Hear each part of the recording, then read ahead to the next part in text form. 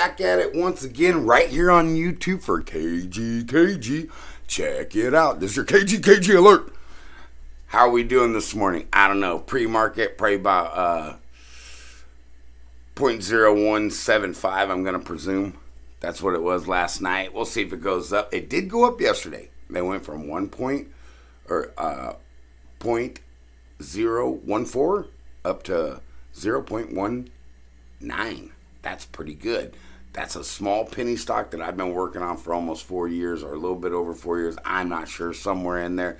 But KG, KG, that's my penny stock pick. I'm not telling you to buy, sell, or trade.